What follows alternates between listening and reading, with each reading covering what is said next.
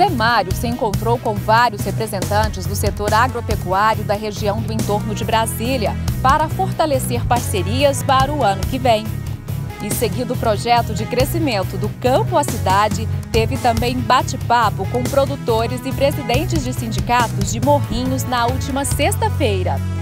A assessora técnica da FAEG, Cristiane Rossi, esteve no evento primeiro seminário Alimentação Animal é Segura e Legal, o evento mostrou a importância de se comprar insumos de procedência para que a ração dos animais não ofereça risco para a saúde deles e do consumidor final. O coordenador técnico do IFAG, Fernando Borges, participou do Hub Agro em Chapecó, Santa Catarina. Ele fez uma palestra sobre oportunidades de inovação no agro.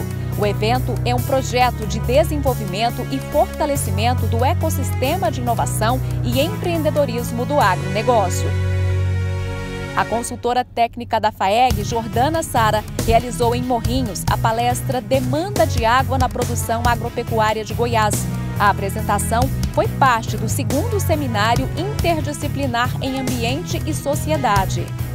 E o projeto ABC Cerrado, que tem ajudado a aumentar a oferta de alimentos, geração de renda no campo e preservação do meio ambiente, será destaque no Agro Record deste domingo. O bate-papo, a partir das 10 da manhã, será com Douglas Vila Verde, coordenador técnico do Senar Goiás.